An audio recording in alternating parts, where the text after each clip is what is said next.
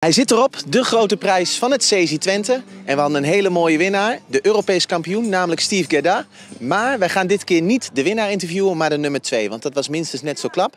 Want daar staat, ze wordt nu nog gefeliciteerd, namelijk Mariette Smit-Hoekstra. En met Duco Z had zij de tweede plaats in de Grand Prix. En wij gaan even wat vragen stellen over rit. Come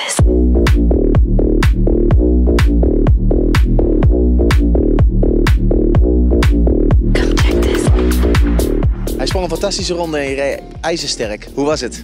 Het was genieten, van A tot Z. Ik had, eh, het gaf me de hele week al een super gevoel. Hij voelde zo goed en eh, de rit ook, het liep zo makkelijk. Het was, eh, en mijn man zei, ah, je gaat voor top 3, je gaat voor top 3. Ik zei, man, hou op man, wie ben ik dan? Het zal allemaal wel wat, wat moeilijk worden. Ik was al lang blij dat ik nog een, een prijsje zou hebben als het ware.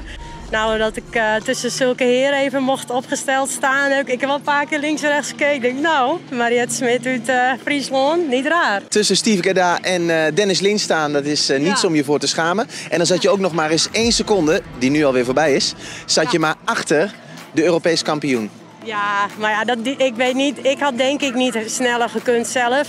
Dus wat ik zeg, voor mij voelde het als een overwinning überhaupt al. Ook al zou ik er vijfde mee geworden zijn. Maar ja, ik vind het wel stoer dat ik überhaupt nog zo in de buurt kom van zulke jongens. Dat is, eh, ja, ik... ik Olympisch kampioen geweest, hij. Nou, ik ben een keer Fries kampioen geweest, maar daar houdt het wel op. Voor Mariette Smit een superweek, voor ons ook een superweek. En wil je niets missen van alle sport, blijf dan vooral kijken naar Horse Country. Dankjewel.